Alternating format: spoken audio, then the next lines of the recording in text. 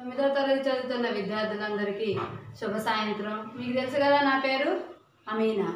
అయితే మనం ఏ అధ్యాయం గురించి చెప్పుకుంటున్నాము? సాంఖ్యక శాస్త్రం. ఈరోజు ఎన్నో రోజులు అడుగు పెట్టాము? Day five.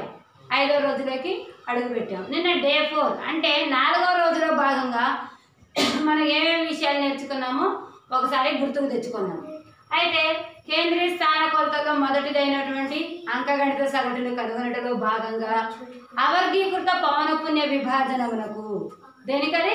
అవర్గీకృత పవనపుణ్య విభాజనమునకు అంకగణిత సగటును కనుగొనటం గురించి మనం నిన్న నేర్చుకున్నాం. అంటే ఏ ఏ పద్ధతుల్లో కనుగొంటారని నేర్చుకున్నాము? సాధారణ పద్ధతి. సాధారణ పద్ జనరల్గా చేసే పద్ధతి సాధారణ పద్ధతి. నెక్స్ట్ ఇంకో పద్ధతి గురించి కూడా నేర్చుకున్నాం. విచలన పద్ధతి. విచారణ పద్ధతి. రాశులు దత్తాంశంలో రాశి కొంచెం అవి విలువలైనా తక్కువగా ఉన్నప్పుడు ఈ పద్ధతి సూటబుల్గా ఉంటుందిలే కానీ ఎక్కువ విలువలు ఉన్నప్పుడు ఈ పద్ధతి మనకి కష్టం అవుతుంది కాబట్టి అటువంటి సందర్భంలో సులభంగా చేయడం కోసం ఈ విచారణ పద్ధతి నేర్చుకున్నాం. అయితే ఈ సాధారణ పద్ధతిన సూత్రం ఏం రాసాం మనం?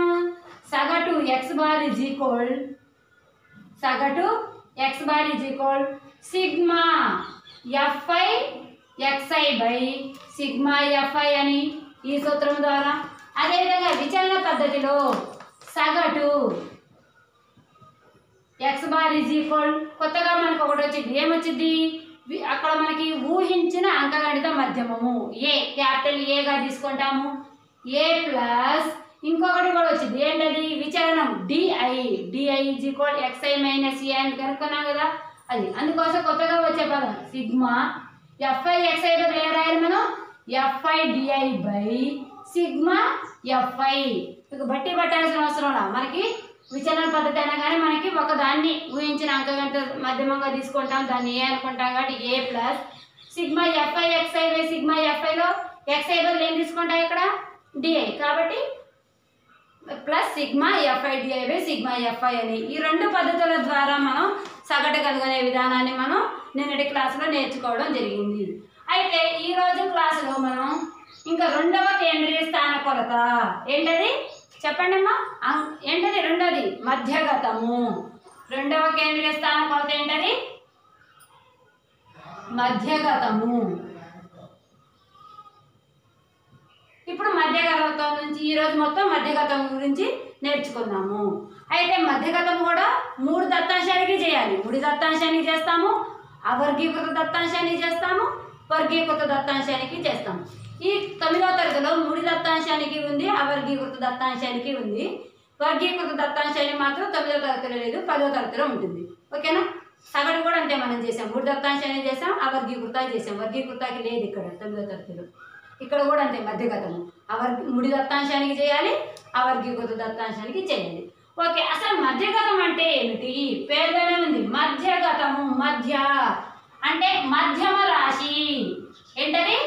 మధ్యమ రాశి. ఒక దత్తాంశంలోని రాశులలో మధ్యమ రాశినే మధ్యగతము అంటాము. అంటే దత్తాంశంలోని రాశులు ఎలా పడితే అలా ఉంటే కాదు. వాటిని ఏం చేయాలి ఫస్ట్? ఒక దత్తాంశంలోని రాశులను ఆరోహణ ఆరోహణ లేదా అవరోహణ క్రమములలో దత్తాంశంలో రాశులను ఆరోహణ లేదా అవరోహణ క్రమములో అమర్చి వాటిలో మధ్యమ రాశిని మధ్యగతముగా తీసుకుంటాము ఓకేనా? ఒక పది మంది మార్కులు ఇచ్చారనుకోండి వాటిని ఏం చేయాలి? ఉన్న వాటిని సగం చేస్తామా? అటు ఇటు సగం చేసి మధ్యలో ఉంది అంటామా అనము. ఫస్ట్ వాటిని ఒక క్రమంలో రాయాలి. ఆరోహణ కావచ్చు అవరోహణ కావచ్చు. మీకు తెలుసు ఆరోహణ అంటే చిన్న నుంచి పెద్దకి. అవరోహణ అంటే పెద్ద విలువ నుంచి చిన్న విలువకి. అలా రాసి మధ్యమ రాశినే మనం మధ్యగతముగా చెప్పుకుంటాము. అర్థమైంది కదమ్మా మధ్యగతం అంటే ఒక దత్తాంశంలోని రాశులను ఆరోహణ లేక అవరోహణ క్రమంలో రాసి మధ్యమ రాశిని మధ్యగతంగా తీసుకుంటాము. మా పిల్లలు అందరూ చేస్తారు మధ్యగతం సూపర్ చేస్తారు. కాకపోతే వాటిని క్రమంలో రాయకుండా టీచర్ ఇటు సగం పంపించి అటు సగం పంపించా మధ్యలోనే మధ్యగా అయింది కదా టీచర్ అంటారు. మర్చిపోతారు. ఆరోహణ క్రమంలో వాటిని క్రమంలో రాయడం మర్చిపోతారు. కాబట్టి జాగ్రత్తగా చేయాలి. అయితే ఇక్కడ మనం ఈ మధ్య మధ్యగతం అనేది ఈ మధ్యగతం అనేది ఫస్ట్ మనం అసలు రెండు రకాలుగా తీసుకోవాలి ఇక్కడ మనం అంటే బేసి సంఖ్య అయినప్పుడు చూద్దాం. కొన్ని ఎగ్జాంపుల్ తీసుకుందాము. బేసి సంఖ్య అయినప్పుడు మధ్యగతం ఒక రకంగా ఉంటుంది సరి సంఖ్య అయినప్పుడు కూడా ఒక రకంగా ఉంటుంది. ఎలా అనేది కొన్ని ఉదాహరణల ద్వారానే మనం సూత్రం ఏంటో కూడా రాబడతాం. ఓకేనా? ఇప్పుడు ఫర్ ఎగ్జాంపుల్ దత్తాంశంలోని రాశులు కొన్ని తీసుకుందాం. దత్తాంశంలోని రాశులు మీకు ఇష్టం వచ్చినవి కొన్ని. ఒక పది ఐదు ఎనిమిది నెక్స్ట్ పన్నెండు నెక్స్ట్ ఎంత తీసుకున్నాం? సరే ఎంతో కొంత? నాలుగు. ఇలా తీసుకున్నాం దత్తాంశంలోని రాశులు ఇవి తీసుకున్నాం ఇక్కడ మధ్యగతం ఎలా కనుక్కుంటామంటే ఏం చెప్పా ఫస్ట్ కండిషన్ అంటే కొన్ని లెక్కలు చెప్తాను నెక్స్ట్ కాకపోతే ఇప్పుడు ఏంటి మనం చెప్పేది? సూత్రం ఏంటో కూడా రాబడదాం. అసలు ఎలా కనుక్కుంటారో మనం ఇక్కడ రాబడదాం. ఈ రాశుల్ని మనం ఏం చేయాలి? ఒక క్రమంలో మార్చాలి. మనకి ఎక్కువ అలవాటు తక్కువ నుంచి ఎక్కువకే కదా. ఎక్కువ నుంచి తక్కువకి ఎక్కువ చేయం కాబట్టి సరే తక్కువ నుంచి ఎక్కువకు మాట్లాడదాం. చెప్పండి? ఆరోహణ క్రమంలో రాయాలి ఫస్ట్ ఆరోహణ క్రమంలో రాసినప్పుడు ఫస్ట్ ఏ విలువ చెప్పండి? టిక్ కొట్టుకోండి. మళ్ళీ రాసిందే మళ్ళీ రాయకుండా. ఐదు ఓకే. నెక్స్ట్ ఎంత ఉంది? ఐదు తర్వాత? ఫస్ట్ ఐదు కాదు. సారీ నాలుగు ఉంది ఫస్ట్ ముందుందేంటి నాలుగు. తర్వాత ఐదు. తర్వాత ఎనిమిది. తర్వాత వచ్చేసి పది. తర్వాత పన్నెండు. మొత్తం ఎన్ని రాశులు? మూడు నాలుగు ఐదు. ఇక్కడ కూడా ఐదు వచ్చాయి. అంటే ఇక్కడ రాశుల సంఖ్యని ఎంతో చూపిస్తాం. రాశుల సంఖ్యని ఎలా చూపించాలి? ఎన్తో చూపిస్తాం. స్మాల్ ఎన్ అయితే ఇక్కడ ఎన్ ఈక్వల్ టు ఎన్ని రాశులు ఉన్నాయి ఇక్కడ? ఐదు రాశులు వచ్చాయి. అంతే కదా చూడండి? ఒకటి రెండు మూడు నాలుగు ఐదు. ఐదు రాశులు వచ్చాయి. చెప్పండి అమ్మా. ఐదు ఐదు ఉంటే మనం ఎలా మధ్యలో ఎలా చేస్తాం చెప్పండి? ఇటని పంపించాలి అటన్ని వెరీ గుడ్ ఇటు రెండు పోతాయి ఇటు రెండు పోతాయి. ఈ మధ్యలో ఉన్నదే మధ్యగతం అవుతుంది. ఇటు రెండు రాశులు అటు రెండు రాశులు పోతే మధ్యలో ఉంది ఎంత ఎనిమిది. అంటే మధ్యగతం ఈజ్ ఈక్వల్ ఎంత వచ్చింది ఇక్కడ? ఎనిమిది వచ్చింది. మధ్యగతం ఎనిమిది. అయితే ఇటు నుంచి చూసినా ఎనిమిది ఇటు నుంచి చూసినా కూడా ఎనిమిది. అయితే ఎన్నవ రాశి మరి ఇది? ఒకటవ రాశి రెండవ రాశి క్రమంలో రాసిన తర్వాత. ఇది మూడవ రాశి. ఎన్నో రాశి మూడవ రాశి ఇది నాలుగవ రాశి ఇది ఐదవ రాశి. ఇటు నుంచి వచ్చినా కూడా ఒకటోది రెండోది మూడోది నాలుగోది ఐదోది. ఎటు చూసినా కూడా ఇది ఎన్నవ రాశి అవుతుంది? మూడవ రాశి అవుతుంది. అయితే ఇంకొక ఎగ్జాంపుల్ చెప్తాను. చూడండి ఇంకొకటి. ఫర్ ఎగ్జాంపుల్ ఇంకో చెప్పండి మీకు ఇష్టం వచ్చినాయి ఒక ఆరు పది పదకొండు ఏడు ఇరవై మూడు నాలుగు ఐదు. ఇందాక ఐదు తీసుకున్నాక ఇంకో ఈసారి ఎక్కువ తీసుకున్నాం. పద్నాలుగు పంతొమ్మిది ఇలా ఉన్నాయి వీటిని క్రమంలో రాయండి. ఆరోహణ క్రమంలో రాస్తే ఆరోహణ క్రమంలో రాస్తే ఫస్ట్ చిన్నది ఏదమ్మా వీటిలలో? ఆరు. ఓకే. ఆరు తర్వాత ఏడు. తర్వాత వచ్చేసి పది. నెక్స్ట్ పదకొండు. నెక్స్ట్ పద్నాలుగు. నెక్స్ట్ పంతొమ్మిది. నెక్స్ట్ ఇరవై. అంటే రాశులు ఎన్ని వచ్చాయి చూడండి? మూడు. ఇవి కూడా లెక్కేసాం కదా? ఒకటి రెండు మూడు నాలుగు ఐదు ఆరు ఏడు. ఇక్కడ కూడా అవి ఏడు వచ్చాయి అంటే ఎన్ని కోల్డ్ రాశుల సంఖ్య ఎన్ని కోల్డ్ ఎంత వచ్చింది? ఏడు వచ్చింది. ఓకే కదా ఇక్కడ ఐదు తీసుకున్నాం ఇక్కడ ఏడు. ఏడు అంటే ఏం చేస్తాం చెప్పండి? ఇటుని పంపిస్తాం అటుని పంపిస్తాం సగం చేయండి. ఇటు మూడు పోతుంది అటు మూడు పోతుంది. అంటే ఇటు మూడు అటు మూడు. మధ్యలో ఏం మధ్యలో ఒకటి ఉంటుందిగా ఇది. ఓకే అంటే మధ్యగతం ఏంటి ఇక్కడ? మధ్యగతము ఎంత? పదకొండు. చూడండి ఒకసారి ఇటు సగం ఇటు సగం పోతే పదకొండు. అలా. ఇప్పుడు ఫర్ ఎగ్జాంపుల్ ఇరవై ఒకటి ఉన్నాయి అనుకోండి. ఎలా కనిపిస్తుంది చెప్పండి? ఇటెన్ని ఇటెన్ని పోతాయి? ఇరవై ఉంటాయి ఇటు ఒక పది ఇటు ఒక పది పోతే మధ్యలో ఒకటి ఉంటుంది. అదే పదకొండు ఉన్నాయి అనుకోండి చెప్పండి. ఇటు ఐదు ఇటు ఐదు పోతే మధ్యలో ఒక రాశి ఉంటుంది. ఇప్పుడు చూడండి ఎన్నో రాశి చూడండి. ఒకటి రెండు మూడు ఇది నాలుగవ రాశి. అయితే దీన్ని బట్టి మనం ఒక సూత్రం రాబట్టాలి. ఇప్పుడు చూడండి మనం తీసుకున్న రాశుల సంఖ్య. ఫస్ట్ అది తీసుకున్నాం ఐదు. ఏడని తీసుకున్నాం ఏడు. ఇవన్నీ ఏ సంఖ్యలు? బేసి సంఖ్యలు. ఏ సంఖ్యలు? బేసి సంఖ్యలు. మనం తీసుకున్న రాశుల సంఖ్య ఎన్ బేసి సంఖ్య అయినప్పుడు నీకు అటు సగం ఇటు సగం పోయి మధ్యలో ఎన్ని రాశులు మిగులుతున్నాయి? ఒకటే మిగులుతుంది. ఏ బేసి సంఖ్య తీసుకున్నా కూడా ఇటు సగం అటు సగం పంపిస్తే మధ్యలో ఒకరే మిగులుతుంది మధ్యమ రాశి. అలాంటప్పుడు ఒక ఫార్ములా రా వచ్చింది. ఎన్ బేసి సంఖ్య అయినా ఎన్ బేసి సంఖ్య అయినా మధ్యగతము ఈజ్ ఈక్వల్ మధ్యగతము ఈజ్ ఈక్వల్ మీరే చెప్పండి. ఇప్పుడు ఐదు రాసిన సంఖ్య ఐదు అయితే ఎన్- ఎన్నో రాశి మధ్యగతం ఏంది? మూడవ రాశి. అంటే ఐదుని ఏం చేస్తే మూడు వచ్చింది వెరీ గుడ్ ఐదుకి ఒకటి కూడి సగం చేయాలి. ఐదుకి ఒకటి కూడండి. ఐదు ప్లస్ ఒకటి బై టూ. ఐదుకి ఒకటి కూడితే ఆరు. ఆరులో సగం మూడు. అంటే మూడవ రాశి మధ్యగతమైంది నెక్స్ట్ ఇక్కడ కూడా. ఎంత? మనకి రాశుల సంఖ్య ఎంత? ఏడు. ఏడుకి ఒకటి కూడండి. ఎనిమిది. ఎనిమిదిలో సగం ఎంత? నాలుగు. ఇక నాలుగవ రాశి ఏంది చూడండి. అంటే ఏం చేస్తున్నాం ఈ ఎనికి ఒకటి కూడి బయట చేస్తే అది ఎన్నో రాశో మనకి తెలిసిపోతుంది. అంటే ఇక్కడ మధ్యగతం ఇది కూడా సూత్రం ఏంటి? ఎన్ ప్లస్ వన్ బై టూవ రాశి. అంటే ఈ ప్లేస్లో ఉన్న రాశి. ఎన్ బేసి సంఖ్య అయినా మధ్యగతం ఈజ్ సూత్రం ఏంటి చెప్పండి అమ్మా? ఎన్ ప్లస్ వన్ బై టూవ రాశి. ఎన్ మీన్స్ ఎన్ని రాశులు ఉంటే అది. దానికి ఒకటి కూడి బై టూ చేయండి. అప్పుడు ఎంత విలువ వచ్చిందో అన్నవ రాశి. ఇక్కడ ఆరు వచ్చింది అనుకోండి లెక్క పెట్టి ఆరవ రాశి.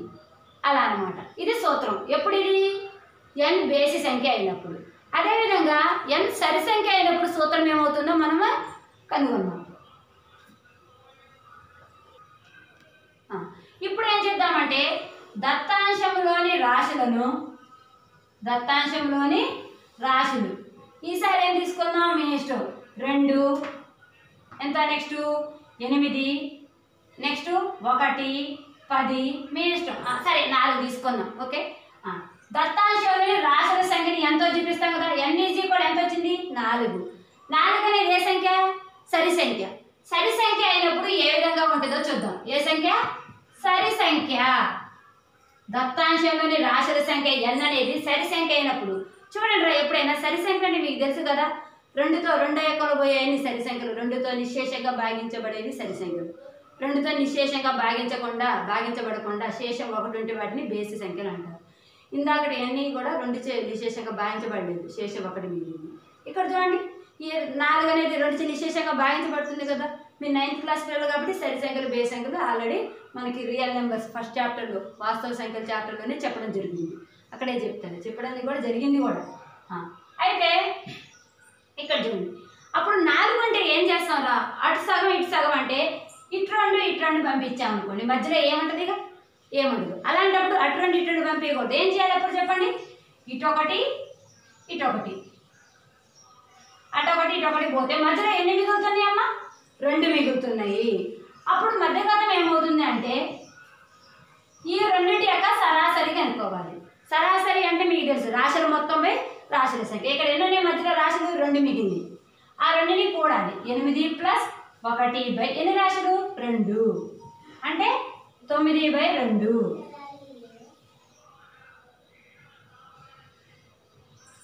అంటే మనం ఒక తప్పు చేశాం ఇక్కడ. చెప్పండి ఏంటో తప్పు? అబ్జర్వ్ చేశారా? పిల్లలందరూ చేసే తప్పే. చూడండి ఏం తప్పు చేసాము రాశులు తీసుకున్నాము వెంటనే లెక్క చేసేస్తూనే ఉన్నాం. ఏం చేయాలి? ఫస్ట్ దత్తాంశంలోని రాశులను ఆరోహణ లేక అవరోహణ క్రమంలో అమర్చాలి. ఎవరైనా కూడా చేసే తప్పు ఇదే ఆ తప్పు చేయకుండా చూసుకోవాలి. ఓకేనా? మరోసారి రాస్తున్నాను. ఏం తీసుకున్నాం చెప్పండి మనం?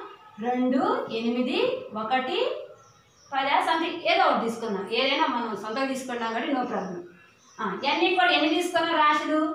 నాలుగు. ఫస్ట్ చేసే పని ఏంటి మనం? వాటిని ఆరోహణ క్రమంలో అమర్చాలి.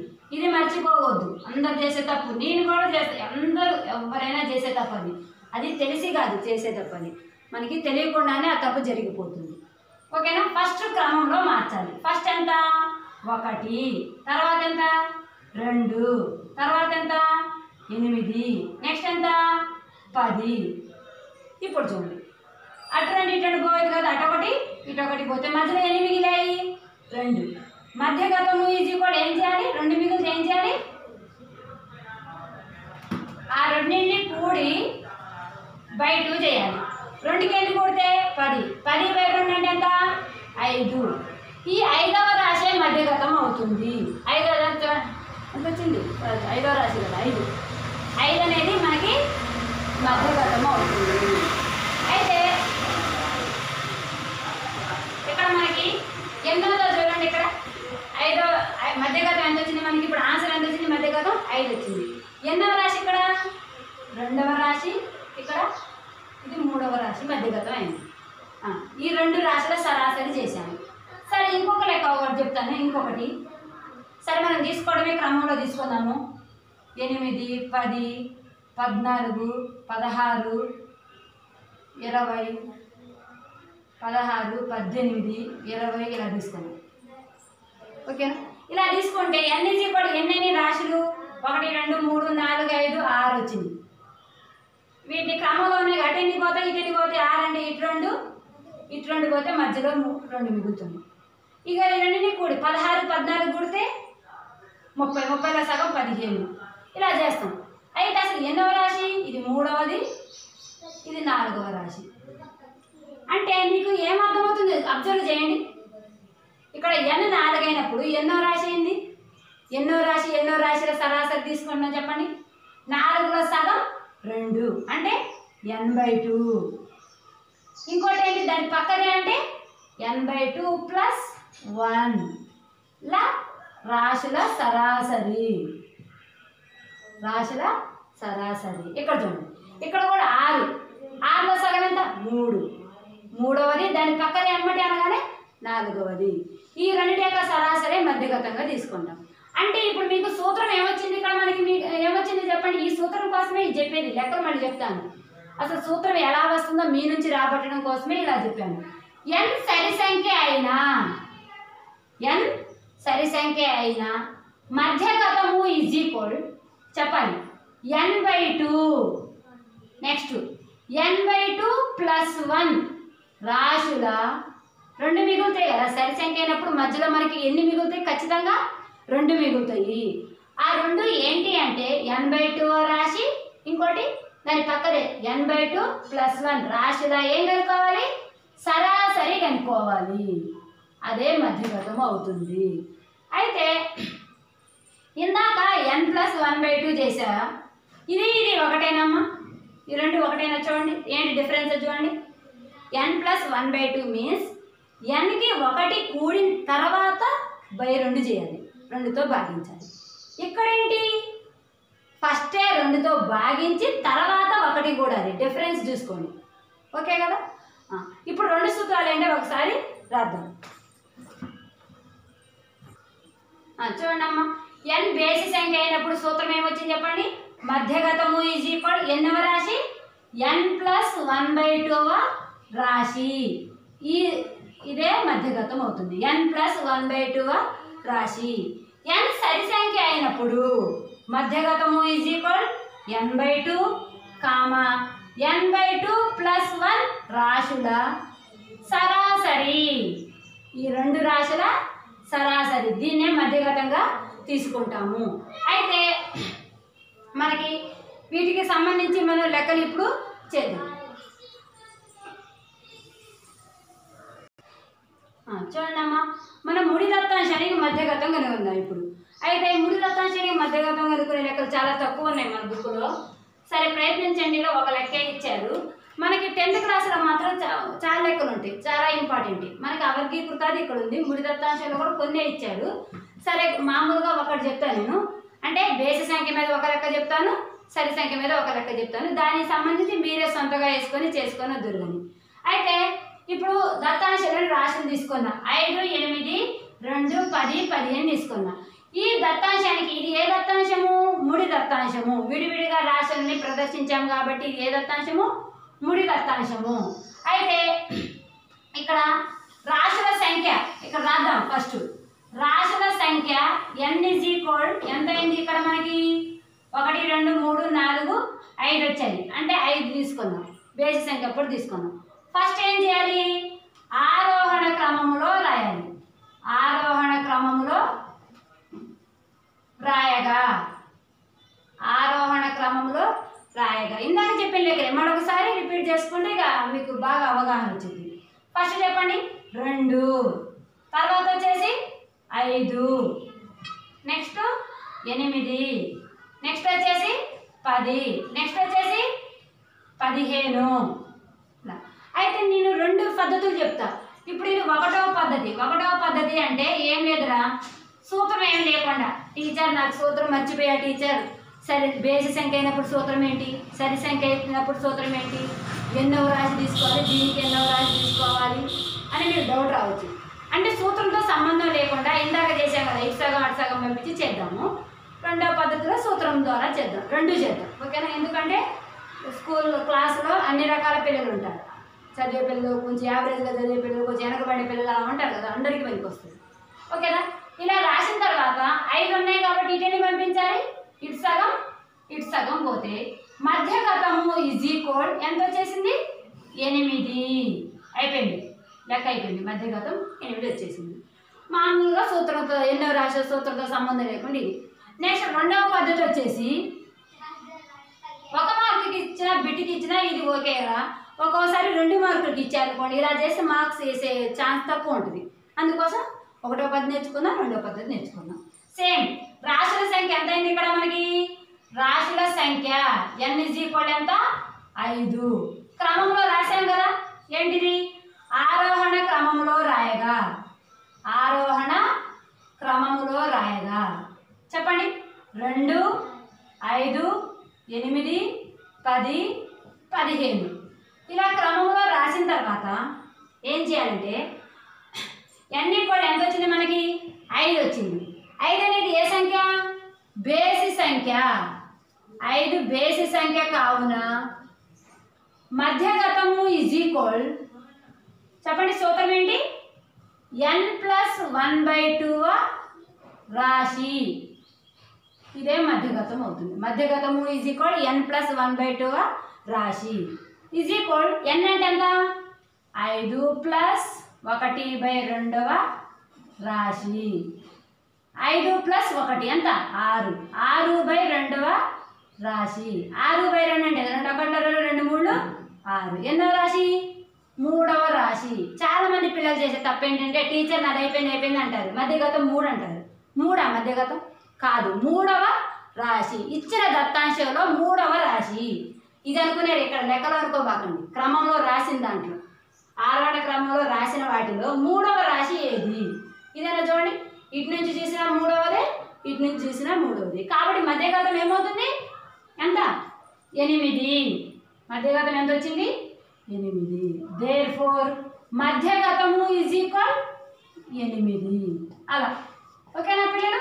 ఇక్కడేమో డైరెక్ట్గా అటు సగం ఇటు సగం పోతే క్రమంలో రాసిన తర్వాత అటు సగం ఇటు సగం పోతే మధ్యమ రాశి వచ్చేసింది మధ్యగతం వచ్చింది. సూత్రం ప్రకారం చేయాలి అంటే ఐదు కాబట్టి ఐదుకి ఒకటి గుర్తు ఆరు. ఆరులో సగం మూడు కాబట్టి మూడవ రాశి. ఎటు నుంచి చూసినా మూడవ రాశి మధ్యగతంగా తీసుకుంటాం. అంటే బేస్ సంఖ్య అయినప్పుడు చెప్పు. అదేవిధంగా సరి సంఖ్య కూడా ఒక లెక్క చెప్పుకున్నాం చూడండి అమ్మ సరి సంఖ్య మీద ఒక లెక్క ఒక మోడల్ చూసుకుందాం. దత్తాంశంలో రాశిని ఎనిమిది ఆరు పది పద్నాలుగు ఇరవై ఐదు. ఎన్ని రాశులు ఏం చూడండి. ఒకటి రెండు మూడు నాలుగు ఐదు ఆరు. అంటే రాశుల సంఖ్య ఎన్ని కూడా ఎంత వచ్చింది? ఆరు. సరి సంఖ్య. సరి సంఖ్య అప్పుడు ఎలా చేస్తాం చూద్దాం. దత్తాంశంలోని రాశుల సంఖ్య ఎన్ ఇజ్ ఈక్వల్ ఆర్. ఫస్ట్ ఏం చేయాలి వీటిని? ఆరోహణ క్రమంలో రాయగా. ఆరోహణ క్రమంలో రాయగా. చెప్పండి. ఖచ్చితంగా టిక్కులు పట్టుకోవాలి రాసేటప్పుడు. ఫస్ట్ చిన్నదేవి? ఐదు. నెక్స్ట్ ఆరు. నెక్స్ట్ వచ్చేసి ఎనిమిది. నెక్స్ట్ పది. నెక్స్ట్ పద్నాలుగు. నెక్స్ట్ ఎంత? ఇరవై. ఇలా టిక్కులు పట్టుకోవడంలో ఏమవుతుందంటే ఒక రాశిని ఇక్కడ రాసి ఇక్కడ రాయకుండా మర్చిపోయినా కూడా వెంబడే అర్థమైపోతుంది. అన్నిటికీ టిక్ కొట్టే అంటే అన్ని రాసి మళ్ళీ ఒకసారి చెక్ చేసుకోండి. ఇక్కడ ఎన్ని ఉన్నాయి? ఆరు. ఇక్కడ కూడా ఎన్ని ఉన్నాయి? ఆరు. ఇప్పుడు ఏం చేస్తున్నాం సూత్రంతో సంబంధం లేనప్పుడు ఆరు అంటే అటు అటు మూడు ఇటు మూడు పోతాయా? మధ్యలో ఏం మిగలదు ఎన్ని పోవాలి? ఇటు రెండు ఇటు రెండు. అంటే ఇటువైపు రెండు ఇటువైపు రెండు పోతాయి. ఇప్పుడు ఎన్ని మిగిలాయి మధ్యలో మీకు రెండు మిగిలాయి. ఏం చేయాలి ఇప్పుడు ఈ రెండింటి యొక్క సరాసరి కనుక్కోవాలి. అంటే ఈ రెండు కూడి సగం చేయాలి. మధ్యగతము ఈజ్ ఈక్వల్ రెండు మిగులుతాయి కదా. సరి సంఖ్యలో మనకి రెండు రాశులు మిగులుతాయి మధ్యలో. మధ్యగతము ఈజ్ ఈక్వల్ ఏమవుతుంది చెప్పండి? ఎనిమిది ప్లస్ పది బై రెండు. ఎనిమిది పది కూడితే ఎంతమ్మా పద్దెనిమిది బై రెండు. రెండు ఒకటిలో రెండు రెండు తొమ్మిదిలో పద్దెనిమిది. మధ్యగతం ఎంత వచ్చేసింది? డైరెక్ట్గా తొమ్మిది వచ్చేసింది. ఇక్కడ ఎన్నో రాశి అనే సంబంధం లేదు. ఎన్నో రాశి మీకు ఇక్కడే తెలిసిపోతుంది. ఒకటి రెండు మూడవ రాశి నాలుగవ రాశి. ఇది ఎన్నోది అవుతుంది మూడవది. ఇటు ఇది నాలుగవది ఇటు నుంచి చూస్తే ఇది మూడవది ఇది నాలుగవది. ఎట్టయితే మూడవ రాశి నాలుగవ రాశి. ఆ రెండు వస్తాయి ఆ రెండింటిని కూడి సగం చేస్తే నీకు మధ్యగతం వచ్చేసింది. అయిపోయింది మధ్యగతం. ఎంత ఆన్సర్ ఎంత? మధ్యగతం? తొమ్మిది. అయిపోయింది. నెక్స్ట్ రెండవ పద్ధతిలోకి వద్దాం. నెక్స్ట్. దత్తాంశంలోని రాశుల సంఖ్య ఎంత అనుకున్నాం? N is equal to n is equal ఎంత వచ్చింది? ఆరు. వీటిని క్రమంలో రాస్తే ఆరోహణ క్రమంలో చెప్పండి ఏమి వచ్చాయో? ఐదు ఆరు ఎనిమిది పది పద్నాలుగు ఇరవై. ఇప్పుడు సూత్రం ఏమవుతుంది చూడండి. అని రాసామా ఎన్ సరి సంఖ్య అయినా ఎన్ సరి సంఖ్య అయినా ఎన్ ఈక్వల్ ఎంత వచ్చింది మనకి? ఆరు. ఆరు సరి సంఖ్య కావున ఎన్ ఇజ్ ఈక్వల్ ఆరు సరి సంఖ్య కావున. సూత్రం రాసేయండి. మధ్యగతము is equal n by two comma n by two plus వల్ల రాశుల సరాసరి. ఈ రెండు రాశుల సరాసరి. చూడండి ఫస్ట్ది is equal n by two n అంటే ఎంతరా? ఆరు. ఆరు బై రెండు. Comma n by two plus one ఆరు బై రెండు ప్లస్ వన్ రాశుల సరాసరి. ఈ మాట మర్చిపోయారు. మా పిల్లలు అంతే ఇంతవరకు చేస్తారు. ఇది మర్చిపోతారు. ఎక్కడ రాసి ఇదే ఆన్సర్ అనుకుంటారు. ఇది రాయాలి ఈ మాట. ఈ రెండు రాశుల సరాసరి తీసుకోవాలి. చెప్పండి అమ్మా రెండు ఒకటిలో రెండు రెండు మూడు ఆరు. రెండు ఒకటిలో రెండు రెండు మూడు ఆరు. అంటే మూడవది కామా మూడు ప్లస్ ఒకటి ఏంటంట నాలుగు. ఈ రెండు మూడు నాలుగు రాశుల సరాసరి. ఇప్పుడు చెప్పండి. మూడవ రాశి ఏంటి? ఏది క్రమం ఏది? మూడవ రాశి ఏంటి ఇక్కడ? ఎనిమిది. ఇంకోటి ఏది? నాలుగో నాలుగో రాశి ఎంత? పది. అంటే ఎనిమిది పదిలా సరాసరి. మూడవ నాలుగవ రాశుల సరాసరి అంటే మూడవ రాశి వచ్చేసి ఎనిమిది. నాలుగవ రాశి వచ్చేసి పది. ఈ రెండిటి యొక్క సరాసరి. ఇప్పుడు చెప్పండి. ఎనిమిది ప్లస్ పది బై రెండు. ఎంత కూడితే ఎనిమిది పది? పద్దెనిమిది బై రెండు. రెండు అక్కడ రెండు రెండు తొమ్మిది పద్దెనిమిది. ఎంత వచ్చింది మధ్య కదా తొమ్మిది. ఇట్లా సూత్రంతో సంబంధం లేకుండా చేసినా తొమ్మిది వచ్చేసింది. సూత్రంతో చేసినా కూడా తొమ్మిది వచ్చింది. ఏదైనా కూడా ప్రాక్టీస్ మేక్స్ మ్యాన్స్ పర్ఫెక్ట్. ఏ లెక్కలైనా కూడా మనం ఎంత ఎక్కువ ప్రాక్టీస్ చేస్తే అంత అవగాహన పెరుగుతుంది. ఈ మోడల్ మీద మీరు సొంతగా ఎన్ని లెక్కలైనా ఇప్పుడు టెక్స్ట్ బుక్లో లేనియే సొంతగా తీసుకొని ఇలా చేయడం జరిగింది. ఈ విధంగా చేయాలి. నెక్స్ట్ వచ్చేసి ముడి దత్తాంశం అయిపోయిందంటే వెంటనే ఏ దత్తాంశం కావాలి మనకి? అవర్గీకృత దత్తాంశం. అంటే అవర్గీకృత పౌనపన విభాజనము ఈ అవర్గీకృత పౌనపన విభాజనములకు మధ్యగతము కనుగొనట అనేది నేర్చుకుందాం ఇప్పుడు. ఓకేనా? అవ- ముడి దత్తాంశం అయిపోయిందంటే నెక్స్ట్ ఏంటి? అవర్గీకృత దత్తాంశం. అంటే అవర్గీకృత పౌనపన విభాజనం. నాకు మధ్యగతము కనుగొనట. అయితే మనకి ఇక్కడ మీకు ఇది చేయాలి అంటే మధ్యగతము అనగానే నైన్త్లో అయినా టెన్త్ అయినా ఒక మాట గుర్తు రావాలి. సంచిత పవన పుణ్యము. ఏంటది? సంచిత పవన పుణ్యము. పవన పుణ్యముల నుంచి వచ్చేదే సంచిత పవన పుణ్యం. ఇక్కడ జాగ్రత్తగా చూడండి.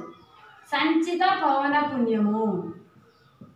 ఇది మనకి కొత్తగా వచ్చిన మాట ఏంటి? ఇక్కడ మనకి సంచిత పవన పుణ్యము. సంచిత పవన పుణ్యం అంటే ఏం లేదురా? పవన పుణ్యంలో విలువలు ఉంటాయి కదా ఆ విలువని సంచిలో వేసుకోవడమే మనకి. ఎలానో చూద్దాం. చూడండి. ఇప్పుడు ఫర్ ఎగ్జాంపుల్ పవన పుణ్యం మనకి ఇష్టం వచ్చింది ఏదో ఒకటి తీసుకుందాం. రెండు ఐదు ఎనిమిది పది పన్నెండు మూడు. ఇలా ఉంది అనుకోండి. సరే ఇంకా ఇంకా కొంచెం చెన్నై తీసుకుందాము. నాలుగు. ఇలా ఉందనుకోండి ఫర్ ఎగ్జాంపుల్. ఇక్కడ ఆరు. కొంచెం చిన్నవి తీసుకున్నాం ఆ, అయితే ఒక మామిడికాయ తోట పోయి మీకు వాళ్ళు మామిడికాయలు ఇచ్చారు. ఆ మామిడికాయని సంచిలో వేస్తారు. ఫస్ట్ ఎన్ని మామిడికాయలు ఇచ్చారు ఆయన? రెండు మామిడికాయలు ఇచ్చారు. ఆ రెండు మామిడికాయని సంచిలో వేయాలి. ఆ రెండు తీసుకొని రెండు సంచిలో వేసుకున్నావు తోట ఆయన నీకు ఇస్తాను నువ్వు తీసుకొచ్చి సంచిలో వేసుకోండి. ఫస్ట్ ఎన్ని మామిడికాయలు ఇచ్చిండు ఆయన? రెండు. ఆ రెండు సంచిలో వేసేసాం. రెండు ఐదు నెక్స్ట్ ఎన్ని ఇచ్చిండు మళ్ళీ ఆయన? ఐదు ఇచ్చిండు. ఆ ఐదు తీసుకొని లెక్క పెట్టాలి నువ్వు. సంచిలో ఎన్ని మామిడికాయలు ఎన్ని లెక్క పెట్టుకోవాలి? ఫస్ట్ రెండు వేసుకోను ఓకే రెండు ఇచ్చిండు రెండు వేసుకోను నెక్స్ట్ ఎన్ని ఇచ్చిండు? ఐదు ఇచ్చిండు. ఈ రెండు అంతే వేసిన మళ్ళీ ఐదు తీసుకొని దీనిలో వేస్తా సంచిలో అప్పుడు ఎన్ని అయితే కూడాలి కదా? ఈ రెండుకి ఐదు కూడా అంటే ఎన్ని అయినాయి? ఏడైనాయి అంటే నీ సంచిలో మామిడికాయలు ఎన్ని అయినాయి ఇప్పటికి? ఏడైనాయి నెక్స్ట్ మళ్ళీ ఎన్ని ఇచ్చిండు? ఎనిమిది ఇచ్చిండు. మళ్ళీ ఎనిమిది తీసుకొని మళ్ళీ సంచిలో వేస్తున్నాం. ఎలా లెక్క పెడతావు చెప్పండి? ఆల్రెడీ ఎన్ని ఉన్నాయి సంచిలో? ఏడు. ఇప్పుడు ఎన్ని వేసినావు? ఎనిమిది. ఏడు ప్లస్ ఎనిమిది ఎంత అవుతుంది? పదిహేను అయింది. అంటే ఇప్పుడు ఈ సంచిలో మామిడికాయలు ఎన్ని పదిహేను. మళ్ళీ ఈసారి ఎన్ని ఇచ్చిండు ఆయన? అట్లా అట అటు మీరు వేసుకుంటున్నారు సంచిలో. ఓకేనా? పదిహేను వరకు వేసావు. నెక్స్ట్ ఈసారి ఎన్ని ఇచ్చిండు? నాలుగు మామిడికాయలు ఇచ్చిండు. ఆ నాలుగు తీసుకొని నువ్వు సంచిలో వేసుకున్నావు అప్పుడు ఎన్నైతే నీకు? పంతొమ్మిది మామిడికాయలు అవుతాయి సంచిలో. నెక్స్ట్ ఇంకెన్ని ఇచ్చిండు? ఆరు ఇచ్చిండు. ఆరు తీసుకొని మళ్ళీ ఏం చేస్తావు? సంచిలో వేస్తావు. ఎన్ని ఉన్నాయి సంచిలో? పంతొమ్మిది. ఈ పంతొమ్మిదికి ఆరు కూడండి? ఇరవై ఐదు. ఓకే కదా? ఎన్ని మామిడికాయలు అండి ఇప్పుడు సంచిలో? ఇరవై ఐదు. మళ్ళీ ఎన్ని ఇచ్చిండు? మూడు ఇచ్చిండు. ఇరవై ఐదు మూడు కూడండి? ఇరవై ఎనిమిది. దీన్నే సంచిత పౌనపుణ్యము అంటారు. పౌనపుణ్యాన్ని కూడుకుంటూ పోతే వచ్చేదే సంచిత పౌనపుణ్యము. రెండుకి రెండు. ఓకే కదా? ఈ రెండు యాజ్ యాజ్ యూజువల్గా వేస్తాం. ఈ రెండుకి ఐదు కూడండి. ఏడు. ఏడుకి ఎనిమిది కూడండి. పదిహేను. ఇట్లా గీతలు గీస్తే మీకు అర్థమైంది ఒక నిమిషం ఇంకా. ఇంకా క్లారిటీ ఉండాలంటే? ఓకే కదా? రెండుకి రెండు. రెండుకి నెక్స్ట్ ఈసారి ఎన్ని మామిడికాయలు కలపాలి? ఐదు. అంటే ఎన్ని? ఏడు. ఈ ఏడుకి ఎనిమిది కలపండి? పదిహేను. నెక్స్ట్ వచ్చేసి నాలుగు కలపండి? పంతొమ్మిది. నెక్స్ట్ వచ్చేసి ఆరు కలపండి? ఇరవై ఐదు. నెక్స్ట్ వచ్చేసి మూడు కలపండి?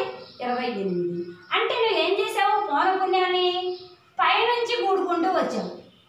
ఇలా కూడితే విలువ పెరుగుకుంటూ పోతుంది కాబట్టి ఆరోహణ సంచిత పౌనపుణ్యం అంటారు. పైనుంచి కూడుకుంటూ వస్తే ఆరోహణ సంచిత పౌనపుణ్యం అంటారు. అదే కింద నుంచి కూడా కూడుకుంటా పోవచ్చు. ఎట్లయినా లెక్క పెడతాం మనం? ఏదైనా ఒకటే కూడిక అన్నట్టు కింద నుంచి కూడుకుంటూ పోదాం. కింద ఎన్ని మామిడికాయలు ఇచ్చాడు ఫస్ట్ ఎన్ని మామిడికాయలు? మూడు.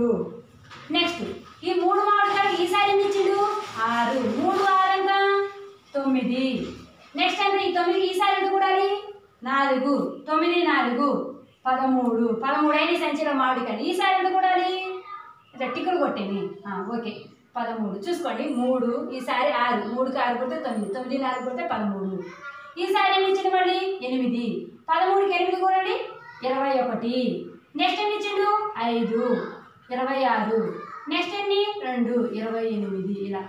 మూడుకి మూడే మూడుకి ఆరు కొడితే తొమ్మిది. తొమ్మిది నాలుగు కొడితే పదమూడు. పదమూడుకి ఎనిమిది కొడితే ఇరవై ఒకటి. ఇరవై ఒకటికి ఐదు కొడితే ఇరవై ఆరు. ఇరవై ఆరుకి రెండు కొడితే ఇరవై ఎనిమిది. ఇలా కింద నుంచి కూడుకుంటూ పోతే ఏమవుతుంది? వాల్యూ పై నుంచి కిందకి కావండి. విలువ ఏమవుతుంది? తగ్గుకుంటూ వచ్చింది. దీన్ని ఏమంటామంటే అవరోహణ సంచిత పౌనపుణ్యము అంటాము. సంచిత పౌనపుణ్యాలు మన ఇష్టం ఎలా అయినా కూడుకుంటా పోవచ్చు.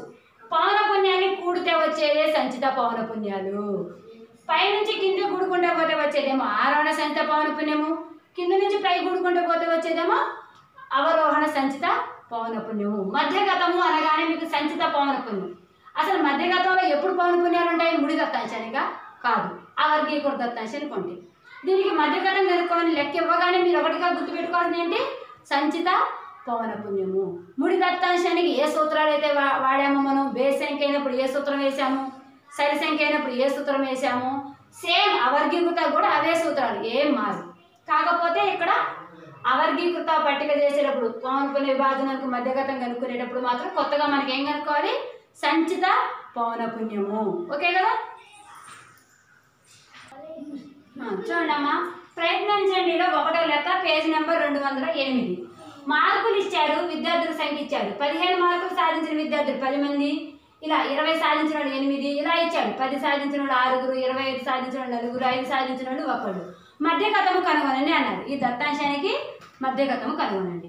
అయితే ఫస్ట్ మనం మర్చిపోవద్దు ఒక క్రమంలో ఒక్కోసారి ఆయనే ఇస్తాడు ఆరోహణ లేదా అవరోహణ క్రమంలో ఆయనే ఇస్తాడు లేకపోతే మనం ఏం చేయాలి ఆరోహణ లేదా అవరోహణ క్రమంలో మనం రాసుకోవాలి క్రమంలో ఇచ్చాడా ఇవ్వలేదు రాసేది మన విద్యార్థుల సంఖ్యని కాదు రాశిని రాసుకోవాలి రాశులు ఇవే ఇవే ఇవి కాబట్టి పదిహేను ఇరవై పది ఇరవై ఐదు ఐదు క్రమంలో ఇవ్వాలి కాబట్టి మనం ఏం చేయాలి దత్తాంశమైన రాశులను ఆరోహణ క్రమంలో రాయగా రాసుకుంటే పోదాం ఫస్ట్ ఎంత ఐదు తర్వాత ఎంత ఐదు తర్వాత ఎంత పది పది తర్వాత వచ్చేసి పదిహేను పదిహేను తర్వాత వచ్చేసి ఇరవై నెక్స్ట్ వచ్చేసి ఇరవై ఐదు అంటే ఐదు మార్కులు సాధించిన వాళ్ళు పది మార్కులు సాధించిన వాళ్ళు ఇట్లా పదిహేను ఇరవై ఇరవై ఐదు ఇలా తీసుకున్నాం అయితే ఇక్కడ పవన పుణ్యం విద్యార్థుల సంఖ్యనే మనం ఏమనుకుంటాము పవన పుణ్యము మర్చిపోయి వీటిని కూడా టీచర్ క్రమంలో రాయమన్నారు కానీ వీటిని కూడా రాశారు అలా కాదు వీటిని రాసింది వీటి క్రమంలో రాయాలి ఆరోహణ క్రమంలో రాశాం ఇప్పుడు చూడండి ఐదు మార్కులు సాధించిన వాడు ఎంతమంది ఒకటి ఐదుకి ఎదురుగా ఎంత పవన పుణ్యం ఒకటి నెక్స్ట్ పది మార్కులు పది మార్కులు ఎంత ఆరు నెక్స్ట్ పదిహేను మార్కులు వాళ్ళు పది మంది నెక్స్ట్ ఇరవైకి ఎంత ఎనిమిది ఇరవై ఐదుకి వచ్చేసి నాలుగు. ఇది ఓకే. ఇప్పుడు చెప్పండమ్మా ఏం చెప్పాను నేను కొత్తగా? ఏం కనుక్కోవాలి ఇప్పుడు? సంచిత పవన పుణ్యము ఏంటది? సంచిత పవన పుణ్యము పవన పుణ్యమును కూడుకుంటూ పోతే వచ్చేదే సంచిత పవన పుణ్యం ఫస్ట్ ఒకటికి ఒకటి. ఈ ఒకటికి ఎంత కూడాలి? ఆరు. ఎంత? ఏడు. ఒకటికి ఆరు కూడితే ఏడు. ఏడుకి ఎంత కూడాలి? పది. ఎంత కూడితే? ఏడు పది కూడితే పదిహేడు. పదిహేడుకి ఎనిమిది కూడండి. ఎంత పదిహేడుకి ఎనిమిది కూడితే? ఏడు ఏడు పది పదిహేను ఇరవై ఐదు. ఇరవై ఐదుకి ఎంత కూడాలి? నాలుగు. ఎంత కూడితే? ఇరవై ఐదుకి నాలుగు కూడితే ఇరవై తొమ్మిది. అంటే వీటిని కూడితే వచ్చిందే ఇది కదా. అలాంటప్పుడు ఇక్కడ వీటన్నిటిని కూడినా కూడా మళ్ళీ ఎంత రావాలి ఇక్కడ? ఇరవై తొమ్మిది. ఇక్కడ ఎంత అయితే వచ్చిందో ఇక్కడ కూడా అంతే రావాలి. ఇరవై తొమ్మిది. మనం అక్కడ స్మాల్ ఎంతో చూపించాం కాబట్టి ఈ పవన్ పుణ్యాల మొత్తాన్ని క్యాపిటల్ ఎంతో చూపిద్దాం. ఓకేనా? ఏదైనా ఒకటి. అక్కడ స్మాల్ ఎంత అందా ఇక్కడ క్యాపిటల్ అంతే. ఓకేనా? ఎంత వచ్చిందమ్మా? మనకి ఇక్కడ ఎంత అయితే వచ్చిందో ఈ వీటిని కూడితే వచ్చిందే కదా. కాబట్టి ఇక్కడ కూడా మనకి ఎన్ వాల్యూ ఎంత వచ్చింది? ఇరవై తొమ్మిది. ఎన్ ఈజ్ ఈక్వల్ ఇరవై తొమ్మిది అనేది చెప్పండి. ఇరవై తొమ్మిది బేసి సంఖ్య సరి సంఖ్య. వెరీ గుడ్ బేసి సంఖ్య. బేసి సంఖ్య కావునా చెప్పాలి మధ్యగతము ఈజ్ ఈక్వల్ ఏమవుతుంది? మధ్యగతము ఈజ్ ఈక్వల్ సూత్రం ఏంటి? బేసి సంఖ్య అయినప్పుడు చెప్పాలి క్యాపిటల్ ఏం రాస్తానండి ఎన్ ప్లస్ వన్ బై టూవా రాశి. ఎన్ ప్లస్ వన్ బై టూవా రాశి. బేసి సంఖ్య జాగ్రత్త. N plus one by two రాశి. బాక్స్ కొట్టుకోవాలి. ఎప్పుడైనా సూత్రం రాసామంటే ఇలా కలర్ పెన్నుతో బాక్స్ కొట్టుకోవాలి. ఈజ్ ఈక్వల్ ఎన్ అంటే ఎంత? ఇరవై తొమ్మిది ప్లస్ ఒకటి బై రెండవ రాశి. ఇరవై తొమ్మిదికి ఒకటి కూడండి. ముప్పై. ముప్పై బై రెండవ రాశి. చెప్పండి రెండు ఒకటి రెండు రెండు పదిహేను ముప్పై. అంటే ఎంత వచ్చింది పదిహేనవ పదిహేను వచ్చింది పదిహేనవ రాశి. అయితే ఇక్కడ జాగ్రత్త. పదిహేనవ రాశి ఎక్కడుందో చూడాలి. ఇంతకు ముందు అంటే మనకి పదిహేను మధ్యగతం అనుకోబాకండి పదిహేనవ రాశి మధ్యగతం. పదిహేనవ రాశి ఎక్కడుందో చూడాలి అంటే సంచిత పౌనపుణ్యాలో చూడాలి. ముడి దత్తాంశంలో అయితే మనకు కనిపిస్తుంది ఎన్నో రాశి అనేది. ఇక్కడ అవర్గీకృత పౌనపుణ్య విభాజన పట్టిక కాబట్టి ఆ పదిహేను ఎక్కడ ఉంటుందో చూద్దాం. సంచిత పౌనపుణ్యాలో చూడాలి. ఇక్కడ ఒకటి అంటే ఇంతవరకు ఒకటికి ఎందుకు వస్తుంది ఐదు మార్కులలో ఒకటి కదా? ఒకటి వచ్చినట్టు ఇక్కడ వస్తాను? నెక్స్ట్ సంచిత పౌనపుణ్యం ఎంత ఏడు అంటే ఒకటి తర్వాత ఎంత రెండు రెండు నుంచి ఏడు దాకా ఈ తరగతిలో ఇక్కడికి వస్తారు ఈ మార్కుల్లోకి వస్తారు నెక్స్ట్ ఏడు తర్వాత ఎంత? ఎనిమిది. అంటే ఏడు వరకే ఈ తరగతి ఈ మార్కులకి చెందుతారా నెక్స్ట్ ఏడు తర్వాత ఎంత? ఎనిమిది. ఎనిమిది నుంచి పదిహేడు దాకా ఈ తరగతి తరగతి మీన్స్ ఈ మార్కులకి చెందుతారు. ఇరవై ఐదు అంటే చూడండి పదిహేడు వరకు ఈ పదిహేను మార్కులకి చెందుతారు కదా. పదిహేడు తర్వాత ఎంత? పద్దెనిమిది. పద్దెనిమిది నుంచి ఇరవై ఐదు వరకు ఈ- ఈ మార్కులకి చెందుతారు. అలా నెక్స్ట్ ఇరవై ఐదు తర్వాత ఎంత? ఇరవై ఆరు నుంచి ఇరవై తొమ్మిది వరకు ఈ మార్కులు చెందుతారు. ఇప్పుడు చెప్పండి నాకు పదిహేను వచ్చింది. పదిహేనవ రాశి దేంట్లో ఉంటుంది? ఏడు వరకే ఇక్కడ ఏడు తర్వాత నెక్స్ట్ ఈ లైన్ అంటే ఇది. పదిహేనవ రాశి ఉండేది దీంట్లో. ఈ పదిహేడులోనే కా- అంటే ఏడు తర్వాత ఎనిమిది నుంచి పదిహేడు దాకా ఇక్కడే పదిహేనవ రాశి దేంట్లో ఉంటుంది? దీంట్లో ఉంటుంది. కాబట్టి మార్కుల్లో ఇది ఇక్కడ కూడా ఎంత ఉంది? పదిహేను. టిక్ కొట్టండి మధ్యగతం ఎంత? పదిహేను. ఇక్కడ ఏదో మనకి లక్గా పదిహేనవ రాశి పదిహేను అయింది అలా కావాలనే రూల్ లేదనమాట. ఓకేనా? పదిహేనవ రాశి. దీనికి చెందిద్ది కాబట్టి దీన్ని ఇట్లా రౌండ్ చుట్టేసేయండి. అంటే ఈ పదిహేనవ రాశి చెందిన దాని యొక్క మార్కులు ఎంత? పదిహేను. కాబట్టి మధ్యగతం ఎంత? పదిహేను. ఓకేనా? మధ్యగతము ఈజ్ ఈక్వల్ పదిహేను. ఓకేనా పిల్లలు? N plus one by two రాశి కనుక్కొని ఇక్కడ చూసుకునేటప్పుడు ఇలా చూసుకోండి. ఓకే ఆ, చూడండి అమ్మా అయితే అభ్యాసం తొమ్మిది పాయింట్ రెండులో ఎనిమిదో లెక్క. పేజీ నెంబర్ వచ్చేసి రెండు వందల పదకొండు. అయితే ఈ లెక్కకి మనకి అంకగణితం మధ్యము మధ్యగతం బాహుళకం కనుక్కోమని మనం మధ్యగతం చెప్పుకున్నాం కాబట్టి మధ్యగతం ఎలా కనుక్కోవాలో ఈ లెక్క చెప్తాను. ఒక కొత్త సంవత్సరం సందర్భంగా మిఠాయి పొట్లం వాళ్ళు ఎక్కువ మిఠాయిలు తింటారు కదా కొత్త సంవత్సరానికి. మిఠాయి పొట్లాలు తయారు చేసి పెట్టారన్నమాట. మిఠాయి పొట్లాల వెల కింద పొట్లంలో సంఖ్య. ఓకేనా? మిఠాయి పొట్లంలో వెల పొట్లంలో సంఖ్య. రూపాయలు ఇరవై ఐదు. అంటే ఇరవై ఐదు రూపాయల మిఠాయి పొట్లాలు ఇరవై తయారు చేశారు. యాభై రూపాయల మిఠాయి పొట్లాలు ముప్పై ఆరు తయారు చేశారు. ఇలా డెబ్బై ఐదు రూపాయల మిఠాయి పొట్లాలు ముప్పై రెండు. వంద రూపాయల మిఠాయి పొట్లాలు ఇరవై తొమ్మిది. నూట ఇరవై రూపాయల పొట్లాలు ఎన్ని తయారు చేశారు? ఇరవై రెండు. నూట యాభై రూపాయల మిఠాయి పొట్లాలు పదకొండు తయారు చేశారంట. అయితే ఈ దత్తాంశానికి ఏం కనుక్కోవాలి మనం? మధ్యగతము కనుగొనండి. అయితే ఇక్కడ మీకు ఇదంతా తెలుసు. ఇంతకు ముందు ఒక రెక్క చెప్పాను నేను మధ్యగతానికి. సేమ్ ఇదే లెక్క. కాకపోతే అక్కడేమో బేసి సంఖ్య వచ్చింది. సరి సంఖ్య వచ్చినప్పుడు ఎలా చేయాలో అందుకోసం ఈ లెక్క చెప్తున్నా. ఓకేనా? ఫస్ట్ మనకు తెలిసిందే. ఆరోహణ క్రమంలో రాయాలి. మిఠాయి పొట్లాల వేళ. ఈ పొట్లంలో సంఖ్యని పౌనపుణ్యం అంటాము. సంచిత పౌనపుణ్యం. ఇది రూపాయలు ఇచ్చాడు.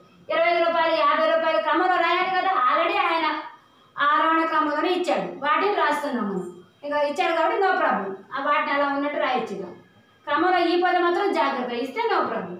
ఇరవై ఐదు యాభై డెబ్బై ఐదు వంద నూట ఇరవై ఐదు నూట యాభై. ఈ పౌనపుణ్యం ఇరవై ముప్పై ఆరు ముప్పై రెండు ఇరవై తొమ్మిది ఇరవై రెండు పదకొండు. సంచిత పౌనపుణ్యం రావాలంటే కూడుకోవాలి కదా? ఇరవైకి ఇరవై. ఇరవైకి ముప్పై ఆరు కొడితే యాభై ఆరు. యాభై ఆరుకి ముప్పై రెండు కోండి ఎనభై ఎనిమిది. ఎనభై ఎనిమిదికి ఇరవై తొమ్మిది కోండి నూట పదిహేడు. నూట పదిహేడుకి ఇరవై రెండు కోండి నూట ముప్పై తొమ్మిది. నూట ముప్పై తొమ్మిది పదకొండు కోండి నూట యాభై.